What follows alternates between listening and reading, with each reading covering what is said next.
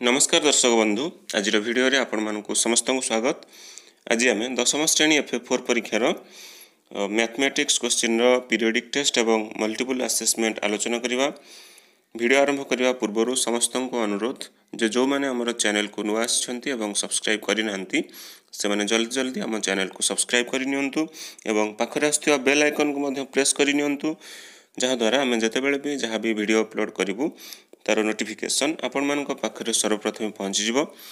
ତ ଚାଲନ୍ତୁ ଆଉ ଡେରି ନକରି ଆମେ ଦଶମ ଶ୍ରେଣୀ ଏଫ୍ ଫୋର୍ ପରୀକ୍ଷାର ପିରିୟଡ଼ିକ୍ ଟେଷ୍ଟ ଏବଂ ମଲ୍ଟିପୁଲ୍ ଆସେସମେଣ୍ଟ ଆଲୋଚନା କରିବା। ଦେଖନ୍ତୁ ପ୍ରଥମେ ରହିଛି ପିରିୟଡ଼ିକ୍ ଟେଷ୍ଟ ଏହାର ପ୍ରଥମ ପ୍ରଶ୍ନ ରହିଛି ଗୋଟିଏ ଏପିର ପ୍ରଥମ ପଦ ଏ ଓ ସାଧାରଣ ଅନ୍ତର ଡି ହେଲେ ଟି ଏନ୍ କେତେ? ଗୋଟିଏ ଏପିର প্রথম পদ এ ও সাধারণ অন্তর ডি হলে টিএন কেতে আর উত্তর হব A plus N minus one into D ঠিক আছে? পরবর্তী প্রশ্ন, গোটিয়ে এপির প্রথম পদ এ ও সাধারণ অন্তর ডি হলে এ সেন কেতে? আর উত্তর হব কোণ না N by two whole into two A plus N minus one into D ঠিক আছে? N by two whole into two A plus N minus one into D ପରବର୍ତ୍ତୀ ପ୍ରଶ୍ନ। ଦେଖନ୍ତୁ ପ୍ରଶ୍ନ ଅଛି T N equal to ten N plus five ହେଲେ T ଟି ten କେତେ? ଆର ଉତ୍ତର ହେବ ୱାନ୍ ହଣ୍ଡ୍ରେଡ଼ ଫାଇଭ୍ ଠିକ୍ ଅଛି। ପରବର୍ତ୍ତୀ ପ୍ରଶ୍ନ ପ୍ରଥମ ଏନ୍ ସଂଖ୍ୟକ ଗଣନ ସଂଖ୍ୟାର ବର୍ଗର ଯୋଗଫଳ କେତେ? ଆର ଉତ୍ତର ହେବ n whole into n plus 1 to n plus 1 divided by 6 ঠিক ଅଛି।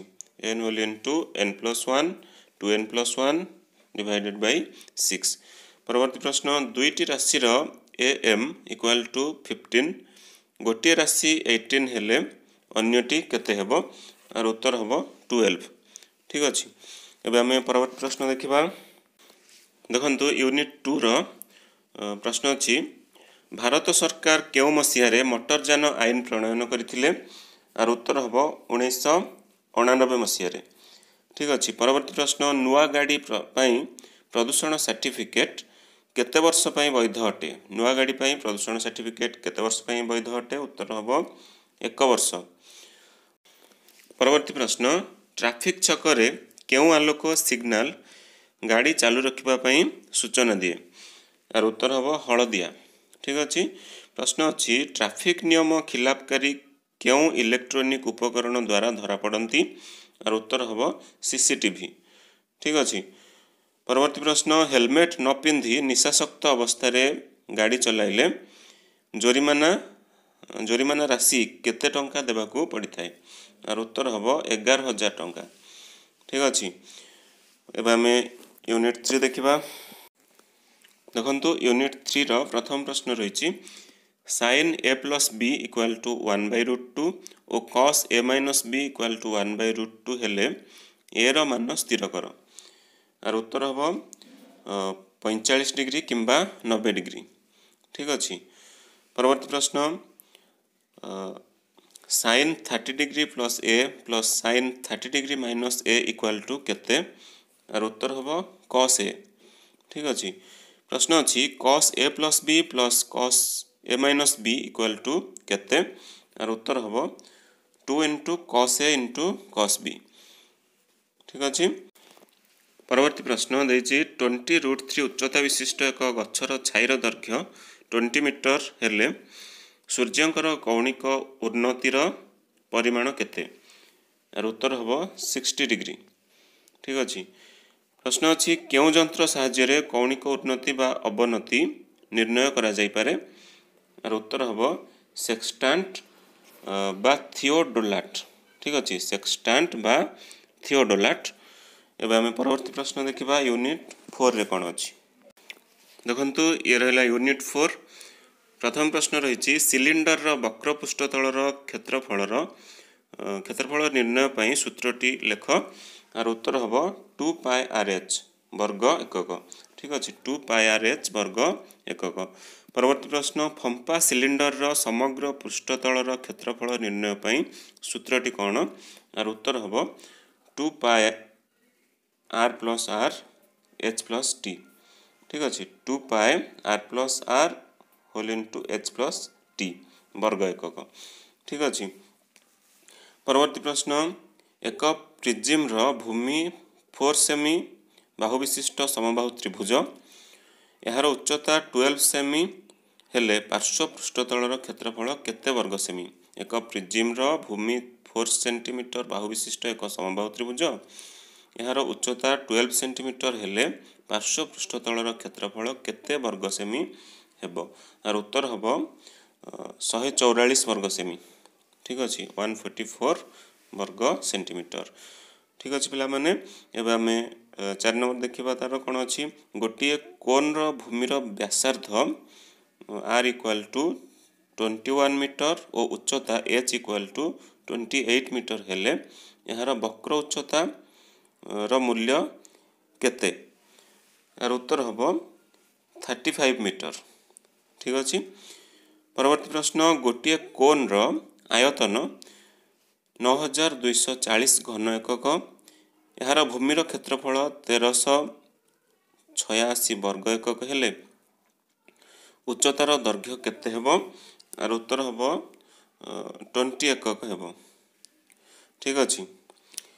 ଏବେ ଆମେ ଦେଖିବା ମଲ୍ଟିପୁଲ୍ ଆସେସମେଣ୍ଟରେ କ'ଣ ସବୁ ପ୍ରଶ୍ନ ରହିଛି। ମଲ୍ଟିପୁଲ୍ ଆସେସମେଣ୍ଟକୁ ଯିବା ପୂର୍ବରୁ ସମସ୍ତଙ୍କୁ ଅନୁରୋଧ ଯେ ଯେଉଁମାନେ ସବସ୍କ୍ରାଇବ୍ କରିନାହାନ୍ତି ସେମାନେ ଜଲ୍ଦି ଜଲ୍ଦି ସବସ୍କ୍ରାଇବ୍ କରିନିଅନ୍ତୁ ଏବଂ ପାଖରେ ଥିବା ବେଲ୍ ଆଇକନ୍କୁ ମଧ୍ୟ ପ୍ରେସ୍ କରିନିଅନ୍ତୁ ଯାହାଦ୍ୱାରା ଯେତେବେଳେ ବି ଆମେ ଯାହା ବି ଭିଡ଼ିଓ ଅପଲୋଡ଼ କରିବୁ ତା'ର ନୋଟିଫିକେସନ୍ ଆପଣମାନଙ୍କ ପାଖରେ ପହଞ୍ଚିଯିବ। ତା ସହିତ ଭିଡ଼ିଓଟିକୁ ଯେତେ ପାରିବେ ସାଙ୍ଗମାନଙ୍କ ସହିତ ସେୟାର କରିବେ। ତାହେଲେ ଚାଲନ୍ତୁ ଦେଖିବା ମଲ୍ଟିପୁଲ୍ ଆସେସମେଣ୍ଟରେ କ'ଣ ସବୁ ପ୍ରଶ୍ନ ରହିଛି। ଦେଖନ୍ତୁ ମଲ୍ଟିପୁଲ୍ ଆସେସମେଣ୍ଟର ପ୍ରଥମ ପ୍ରଶ୍ନ ଅଛି T N equal to two N plus three ହେଲେ ଟି ସିକ୍ସ ଇକ୍ୱାଲ୍ ଟୁ କେତେ? ଆର ଉତ୍ତର ହେବ ଫିଫ୍ଟିନ୍ ଠିକ୍ ଅଛି? T six equal to fifteen ପରବର୍ତ୍ତୀ ପ୍ରଶ୍ନ ଦେଇଛି S N equal to three N plus four N square ହେଲେ S N minus one equal to କେତେ ହେବ ଆର ଉତ୍ତର ହେବ four N square minus five N plus one ଠିକ୍ ଅଛି four N square minus five N plus one ପରବର୍ତ୍ତୀ ପ୍ରଶ୍ନ ଦେଇଛି seven fourteen twenty one twenty eight thirty five dot dot dot dot ଗୋଟିଏ ଏପି କି ଆର ଉତ୍ତର ହେବ ହଁ ଏହା ଏକ ଏପି ଠିକ୍ ଅଛି। ପରବର୍ତ୍ତୀ ପ୍ରଶ୍ନ ରହିଛି ପ୍ରଥମ ଏନ୍ ସଂଖ୍ୟକ ଗଣନ ସଂଖ୍ୟାମାନଙ୍କର ଘନର ସମଷ୍ଟି କେତେ? ଆର ଉତ୍ତର ହେବ N whole into N plus one by two ର ହୋଲ୍ ସ୍କୋୟାର ଠିକ୍ ଅଛି। N whole into N plus one by tour whole square ଏବେ ଆମେ ପରବର୍ତ୍ତୀ ପ୍ରଶ୍ନ ଦେଖିବା ଦେଇଛି ଏପିରେ ଅବସ୍ଥିତ ସାତଟି ପଦର ସମଷ୍ଟି ଛପନ ହେଲେ ଚତୁର୍ଥ ପଦଟି କେତେ ହେବ? ଆର ଉତ୍ତର ହେବ ଏଇଟ୍ ଠିକ୍ ଅଛି ଏପିର ସାତଟି ପଦର ସମଷ୍ଟି ଯଦି ଛପନ ହୁଏ ତାହେଲେ ଚତୁର୍ଥ ପଦଟି ହେବ ଏଇଟ୍ ଏବେ ଆମେ ୟୁନିଟ୍ ଟୁ ଦେଖିବା।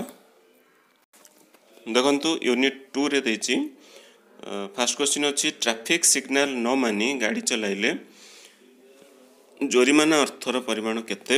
ଆର ଉତ୍ତର ହେବ ପାଞ୍ଚ ହଜାର ଟଙ୍କା। ଠିକ୍ ଅଛି ପରବର୍ତ୍ତୀ ପ୍ରଶ୍ନ ସଡ଼କ ଦୁର୍ଘଟଣା ଦିନକୁ ଦିନ ବଢ଼ି ଚାଲିବାର ପ୍ରଧାନ କାରଣ କ'ଣ? ଆର ଉତ୍ତର ହେବ ଦ୍ରୁତ ଗତିରେ ଗାଡ଼ି ଚଲାଇବା ହେଉଛି ଏହାର ପ୍ରଧାନ କାରଣ। ଠିକ୍ ଅଛି। ପ୍ରଶ୍ନ ରହିଛି କେଉଁ ମସିହା ଠାରୁ ଅନଲାଇନ୍ ପ୍ରଦୂଷଣ ସାର୍ଟିଫିକେଟ୍ ଦିଆଯାଉଛି? ଆର ଉତ୍ତର ହେବ ଅକ୍ଟୋବର ଏକ ଦୁଇ ହଜାର ଉଣେଇଶ ମସିହା ଠାରୁ ଦୁଇ ହଜାର ଉଣେଇଶ ମସିହା ମଧ୍ୟ ଖାଲି ଲେଖିଦେଲେ ହେଇଯିବ। ଠିକ୍ ଅଛି। ପ୍ରଶ୍ନ ରହିଛି ପୁରୁଣା ଗାଡ଼ି ପାଇଁ ପ୍ରଦୂଷଣ ସାର୍ଟିଫିକେଟ୍ କେତେ ବର୍ଷ ପାଇଁ ବୈଧ ଅଟେ? ଆର ଉତ୍ତର ହେବ ଛଅ ମାସ ପାଇଁ। ଠିକ୍ ଅଛି? ପରବର୍ତ୍ତୀ ପ୍ରଶ୍ନ ସିଟ୍ ବେଲ୍ଟ ନ ବାନ୍ଧି ଗାଡ଼ି ଚଲାଇଲେ କେତେ ଟଙ୍କା ଜୋରିମାନା ଦେବାକୁ ପଡ଼ିଥାଏ? ଏହାର ଉତ୍ତର ହେବ ଏକ ହଜାର ଟଙ୍କା। ଠିକ୍ ଅଛି ପିଲାମାନେ ଏଠି ୟୁନିଟ୍ ଟୁ ସରିଗଲା ଏବେ ଆମେ ୟୁନିଟ୍ ଥ୍ରୀ ଦେଖିବା। ଦେଖନ୍ତୁ ୟୁନିଟ୍ ଥ୍ରୀରେ ଦେଇଛି ଗୋଟିଏ ପାହାଡ଼ ଉପରୁ ଶହେ ମିଟର ଉଚ୍ଚ ଏକ ସମତଳରେ ଥିବା ଗୋଟିଏ ସ୍ତମ୍ଭର ଶୀର୍ଷ ଓ ପାଦଦେଶର କୌଣିକ ଅବନତିର ପରିମାଣ ଯଥାକ୍ରମେ ତିରିଶ ଡିଗ୍ରୀ ଓ ଷାଠିଏ ଡିଗ୍ରୀ ପାହାଡ଼ର ଉଚ୍ଚତା ନିର୍ଣ୍ଣୟ କର। ଠିକ୍ ଅଛି ଏ ପ୍ରଶ୍ନର ମୂଲ୍ୟ ଅଛି ପାଞ୍ଚ ମାର୍କ। ଆର ଉତ୍ତର ଆମେ କେମିତି କରିବା ଦେଖନ୍ତୁ ମୁଁ ଏଠି କରିଦେଇଛି। ଦେଖନ୍ତୁ ଆମେ ଏଇଭଳି କରିବା। ଏସି ଇକ୍ୱାଲ୍ ଟୁ ପାହାଡ଼ ଡିଇ ଇକ୍ୱାଲ୍ ଟୁ ସ୍ତମ୍ଭ equal to hundred metre equal to B C equal to hundred metre A C equal to B C plus A B ଠିକ୍ ଅଛି equal to hundred plus X metre ଏବିକୁ X ଧରାଯାଇଛି ଠିକ୍ ଅଛି ତାହେଲେ tan thirty degree equal to A B by B E equal implies that one by one by root three tan thirty ଡିଗ୍ରୀର ମୂଲ୍ୟ ହେଉଛି କ'ଣ? ନା one by root three equal to A B ଜାଗାରେ ଆମେ ଏକ୍ସ ପକେଇଲେ ଏକ୍ସ ବାଇ ବି ଇ ଠିକ୍ ଅଛି one by root three equal to X by B E implies that ଏଠି ବଜ୍ରଗୁଣନ କରିନେଲେ କ'ଣ ହେବ ନା B equal to X root three metre ଠିକ୍ ଅଛି ସେଇଭଳି tan sixty degree equal to AC by C D implies that root 3 equal to x plus 100 divided by x root 3 ଏଠି tan 60 ଡିଗ୍ରୀର ମୂଲ୍ୟ ହେଲା root 3 AC ଜାଗାରେ x plus 100 ପଡ଼ିଲା CD জায়গায় x root three ঠিক ଅଛି ସିଡିର ମୂଲ୍ୟ ଯେତିକି ବିଇର ମୂଲ୍ୟ ସେତିକି ଆମେ ଜାଣିଛେ B equal to CD equal to X root three ତେଣୁ ଆମେ ଏଠି ଏକ୍ସ ରୁଟ୍ ଥ୍ରୀ ପକେଇଲେ ସିଡି ଜାଗାରେ ଠିକ୍ ଅଛି implies that three X equal to X plus hundred implies that three X minus X equal to hundred ଏକ୍ସଟାକୁ ଆମେ ସେପଟକୁ ନେଲେ ମାଇନସ୍ ଏକ୍ସ ହେଇଗଲା ଠିକ୍ ଅଛି ତାପରେ ଥ୍ରୀ ଏକ୍ସ ଟୁ ଏକ୍ସ ଗଲେ କେତେ ହେଲା two X 2x equal to 100 তারপরে রহিলা x equal to 100 by 2 এটি দুইটা এপটে আসিকি হরা হলা ঠিক আছে? 100 রে 2 কটিকি হলা কেতে না 50 50 মিটার তারপরে পাহাড়র উচ্চতা sc equal to 100 plus x সমান 100 plus 50 equal to 150 মিটার ঠিক আছে? তাহলে পাহাড়র উচ্চতা কেতে বাহারা না 150 মিটার এইভাবে আমি এই প্রশ্নর উত্তর লিখিপারিবা ঠিক আছে? ଏବେ ଆମେ ପରବର୍ତ୍ତୀ ପ୍ରଶ୍ନକୁ ଯିବା। ଦେଖନ୍ତୁ ପ୍ରଶ୍ନ ରହିଛି ସୁଷମ ଘନ ପଦାର୍ଥର ପୃଷ୍ଠତଳର କ୍ଷେତ୍ରଫଳ ଓ ଘନଫଳର ସୂତ୍ରଗୁଡ଼ିକୁ ନେଇ ଉଦାହରଣ ମାଧ୍ୟମରେ ପ୍ରଶ୍ନ ପଚାରିବେ। ଏଠି ଆମେ ସୁଷମ ଘନ ପଦାର୍ଥ ଗୁଡ଼ିକର ପୃଷ୍ଠତଳ ଏବଂ ପୃଷ୍ଠତଳର କ୍ଷେତ୍ରଫଳ ଏବଂ ଘନଫଳ ସମ୍ବନ୍ଧୀୟ ସୂତ୍ରଗୁଡ଼ିକୁ ମନେ ରଖିବାକୁ ପଡ଼ିବ। ସେଥିରୁ ପ୍ରଶ୍ନ ପଚରାଯିବ। ଠିକ୍ ଅଛି ଯେମିତିକି ଆୟତ ଘନ ସମଘନ ତାପରେ ପ୍ରିଜମ୍ ସିଲିଣ୍ଡର କୋନ୍ ଏସବୁରୁ ଆମେ ସୂତ୍ରଗୁଡ଼ିକୁ ମନେ ରଖିବା। ଠିକ୍ ଅଛି। ଦେଖନ୍ତୁ ଆୟତ ଘନର ସମଗ୍ର ପୃଷ୍ଠତଳର କ୍ଷେତ୍ରଫଳ ଯେମିତି two into A B plus B C plus S C ବର୍ଗ ଏକକ। ଆୟତ ଘନର ପାର୍ଶ୍ୱ ପୃଷ୍ଠତଳର କ୍ଷେତ୍ରଫଳ two whole into A plus B into C ବର୍ଗ ଏକକ। ଆୟତ ଘନର ଘନଫଳ ଯେକୌଣସି ପୃଷ୍ଠତଳର କ୍ଷେତ୍ରଫଳ ଗୁଣନ ସେହି ପୃଷ୍ଠତଳ ପ୍ରତି ଲମ୍ବ ଭାବେ ଅବସ୍ଥିତ ଧାରର ଦୈର୍ଘ୍ୟ ଆୟତଘନର ଘନଫଳ ସମାନ ଆଉ ଗୋଟେ ମଧ୍ୟ ସୂତ୍ର ନେଇପାରିବା ଦୈର୍ଘ୍ୟ ଗୁଣନ ପ୍ରସ୍ତ ଗୁଣନ ଉଚ୍ଚତା ଘନ ଏକକ। ଠିକ୍ ଅଛି? ସେଭଳି ସମଘନର ସମଘନର ଯଦି ସମସ୍ତ ବାହୁର ଦୈର୍ଘ୍ୟ ଏ ଏକକ ହୁଏ ତାହେଲେ ସମଘନର ସମଗ୍ର ପୃଷ୍ଠତଳର କ୍ଷେତ୍ରଫଳ ହେବ ସିକ୍ସ ଏ ସ୍କୋୟାର ବର୍ଗ ଏକକ। ସମଘନର ପାର୍ଶ୍ୱ ପୃଷ୍ଠତଳର କ୍ଷେତ୍ରଫଳ ଫୋର୍ ଏ ସ୍କୋୟାର ବର୍ଗ ଏକକ। ଏବଂ ସମଘନର ଘନଫଳ ଏ କ୍ୟୁ ଘନ ଏକକ। ଠିକ୍ ଅଛି ସେହିଭଳି ପ୍ରିଜିମ୍ର ମଧ୍ୟ ଆମେ ସୂତ୍ରଗୁଡ଼ିକୁ ମନେ ରଖିବା। ଯେମିତି ପ୍ରିଜିମ୍ର ପାର୍ଶ୍ୱ ପୃଷ୍ଠତଳର କ୍ଷେତ୍ରଫଳ ସମାନ ଆଧାରର ପରିସୀମା ଗୁଣନ ଉଚ୍ଚତା ପ୍ରିଜିମ୍ର ସମଗ୍ର ପୃଷ୍ଠତଳର କ୍ଷେତ୍ରଫଳ ସମାନ ପାର୍ଶ୍ୱ ପୃଷ୍ଠତଳର କ୍ଷେତ୍ରଫଳ ପ୍ଲସ୍ ଟୁ ଇଣ୍ଟୁ ଆଧାରର କ୍ଷେତ୍ରଫଳ ଏବଂ ପ୍ରିଜିମ୍ର ଆୟତନ ସମାନ ଆଧାରର କ୍ଷେତ୍ରଫଳ ଗୁଣନ ଉଚ୍ଚତା। ଠିକ୍ ଅଛି ଏଇଭଳି ଆମେ ପ୍ରିଜିମ୍ର ସମସ୍ତ ସୂତ୍ରଗୁଡ଼ିକୁ ମନେ ରଖିବା। ସେହିଭଳି ଆମେ ସିଲିଣ୍ଡର କୋନ୍ ଏସବୁର ମଧ୍ୟ ଯାହା ସବୁ ସୂତ୍ର ରହିଛି ସେସବୁକୁ ଆମେ ମନେ ରଖିବାକୁ ପଡ଼ିବ ଯାହାଦ୍ୱାରା ଆମେ ଏଇ ପ୍ରଶ୍ନଟିର ଉତ୍ତର କରିଦେଇପାରିବା ସହଜରେ ଠିକ୍ ଅଛି ତ ପିଲାମାନେ ଏଇଠି ଆମର ସମସ୍ତ ପ୍ରଶ୍ନର ଆଲୋଚନା ଆମର ସରିଯାଇଛି ପିରିୟଡ଼ିକ୍ ଟେଷ୍ଟ ଏବଂ ମଲ୍ଟିପୁଲ୍ ଆସେସମେଣ୍ଟରେ ଯାହା ଯାହା ପ୍ରଶ୍ନ ଥିଲା ଆମେ ସମସ୍ତ ୟୁନିଟ୍ ଗୁଡ଼ିକ ଆଲୋଚନା କଲେ ତ ଆଜିର ଭିଡ଼ିଓକୁ ଆମେ ଏଇଠି ରଖିବା। ଭିଡ଼ିଓଟି କିପରି ଲାଗିଲା ଆପଣମାନେ ନିଶ୍ଚିତ ଭାବରେ ଆପଣମାନଙ୍କର ମୂଲ୍ୟବାନ ମତାମତ କମେଣ୍ଟ ବକ୍ସରେ ଲେଖି ଜଣାଇବେ। ଆଜି ପାଇଁ ଏତିକି। ପୁଣି ଦେଖାହେବ ଆଉ ଏକ ନୂତନ ଭିଡ଼ିଓରେ। ସେତେ ପର୍ଯ୍ୟନ୍ତ ବିଦାୟ ଦିଅନ୍ତୁ। ରହୁଛି। ଧନ୍ୟବାଦ। ଜୟ ଜଗନ୍ନାଥ।